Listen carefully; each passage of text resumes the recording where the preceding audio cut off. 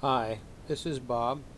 Been working on the uh, Ten-Tec Omni D that you see here, and I had a real nice, uh, real nice outcome here with a little modification that I did, and I thought I would just make a little video of that modification and show you guys what I did here. I had taken the uh, PTO here out. Now this one here is from another unit. This is a busted PTO. But uh, what I did with the PTO was I did not take it all apart. I uh, ran a little bit of 10W30 uh, synthetic oil down in here, which I bought at Kmart's. It was Kmart brand. And I ran it down in here, just a drop down in there. I ran a little drop down in here, in that little joint there. Then I put a drop up in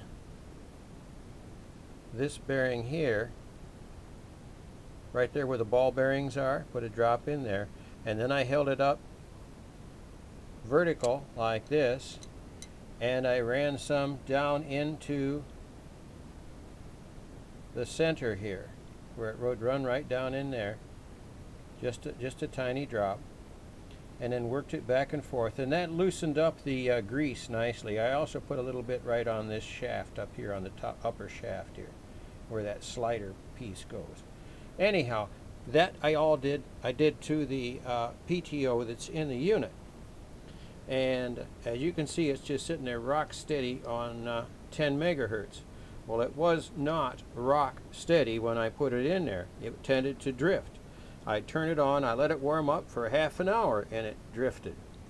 And I really didn't care for that. I'm used to a rig that's crystal controlled synthesized and would stay put so uh, I thought, what can I do to improve that? And all of a sudden I had this idea.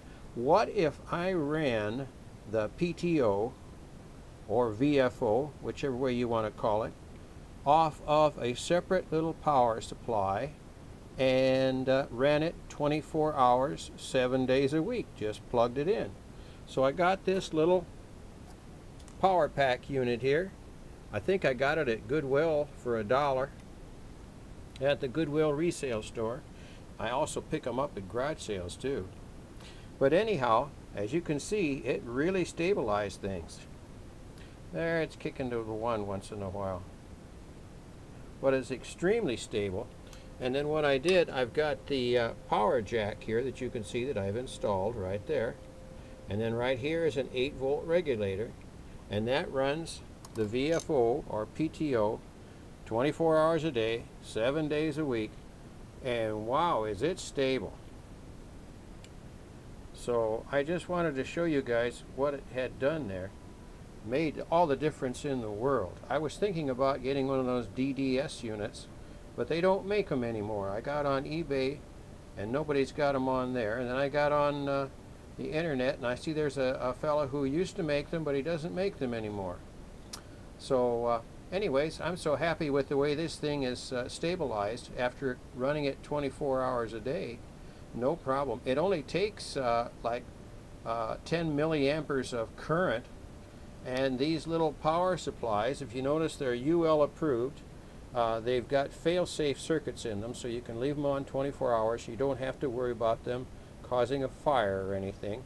Uh, they, they have self-protective uh, circuits in them. So uh, I think that's a really good solution.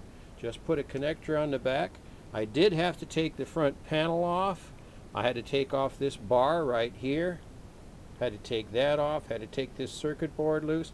Had to take out the display unit. Take all the knobs off the front.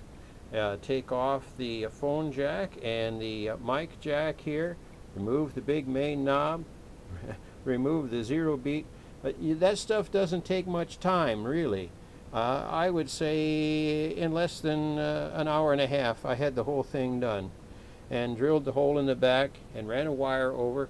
And then I took the wire off of the PTO and ran it, ran the wire from the back directly onto the PTO. And uh, it just works great.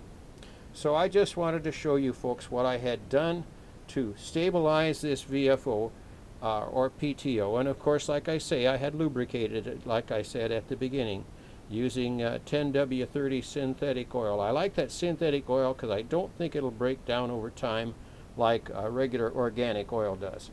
Only time will tell, actually, what happens there. So uh, that's it.